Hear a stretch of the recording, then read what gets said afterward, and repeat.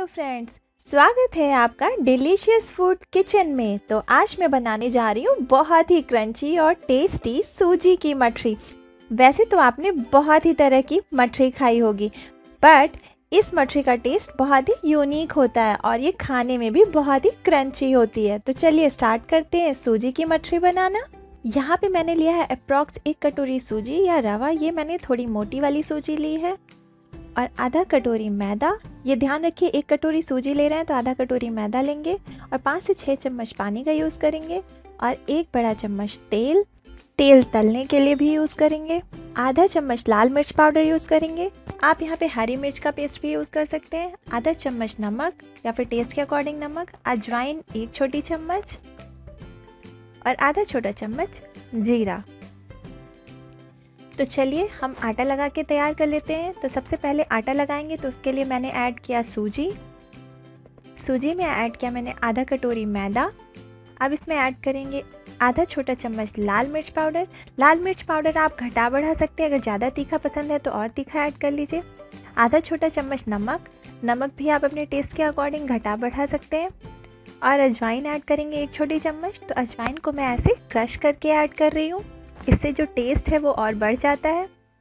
और आधी छोटी चम्मच जीरा, इन सबको अच्छे से मिक्स करेंगे।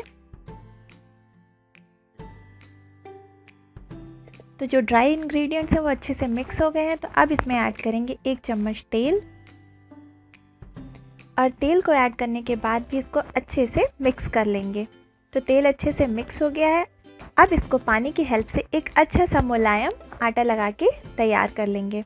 ये ध्यान रखिए कि जो आप मठरी के लिए जो आटा तैयार कर रहे हैं, ये आटा बिल्कुल मुलायम होना चाहिए, क्योंकि जब आटे को आप एक घंटे के लिए रख देंगे, उसके बाद जो आटा है वो हार्ड हो जाएगा, क्योंकि जो सूजी है वो फूलती है। तो इसीलिए हम उसका एक मुलायम सा आटा लगा के तैयार कर लेंगे। तो देखिए कितना मुलायम आटा लगा के तैयार कर लिया है। तो अब इसको हम रख देते हैं एक घंटे के लिए। इसको हम कॉटन के कपड़े से ढक देंगे। तो एक घंटे के लिए मैंने आटे को रख दिया है। एक घंटे हो चुके हैं। तो अब देखिए, जो आटा है वो अच्छे से सेट हो गया तो एक बार फिर से इसको एक मिनट के लिए अच्छे से मसल लेंगे। तो अब हम लोइयाँ बनाना स्टार्ट करते हैं मठरी के लिए। तो आप अपने चॉइस के अकॉर्डिंग लोइयाँ बड़ी या छोटी बना सकते हैं। तो यहाँ पे देखिए, मैं ऐसे करके मैंने जो पूरा आटा है उसको लोइयों में डिवाइड कर लिया। तो छोटे नींबू के साइज़ के बराबर की लोइयों को मैंने डिवाइड कर लिया और एक लोई को लेके ऐसे राउंड करेंगे और फिर उसको प्लेन करके और फिर एक पतली सी रोटी जैसे छोटी छोटी पतली पतली रोटियों जैसे बेल लेंगे। तो देखिए, इसको पलट पलट के मैंने ऐसे बेल लिया। मैं जो ये मठरी बना रही हूँ थोड़ी सी पतली रख रही हूँ। तो देखिए, इसकी थिकनेस मैंने इतना रखा है और अब इसको फोक की हेल्प से मैं इसमें छेद कर दूँगी। तो ये ध्यान रखिए कि जो छेद हम करेंगे, वो दोनों साइड करेंगे, ताकि मठरी जो है वो फूले नहीं और फिर इसको एक अलग प्लेट में रख लेंगे।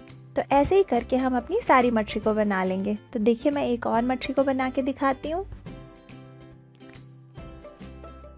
इसको भी हम फोक की हेल्प से दोनों साइड से छेद कर लेंगे। ऐसा करने से जो मठरी है, वो आपकी तेल में जाने पे फूलती नहीं है और मठरी जो है वो कुरकुरी बन के तैयार होती है। ऐसे करके मैंने सारी मछलियों को तैयार कर लिया और जो तेल है वो भी मीडियम फ्लेम पे गरम कर लिया। तो तेल को चेक करने के लिए मैंने थोड़ा सा आटा डाला।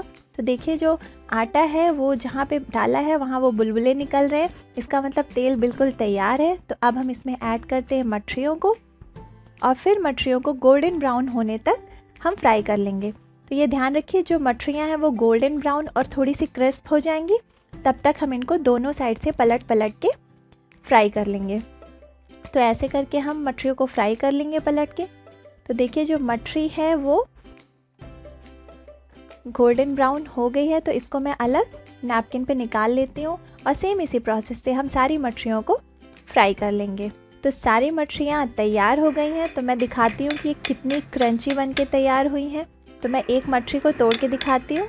ये देखिए कि कितनी क्रंची बन के तैयार हुई हैं तो आप ज़रूर ट्राई कीजिए इस मछली की रेसिपी को।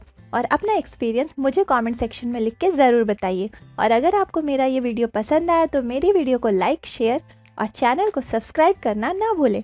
Thanks for watching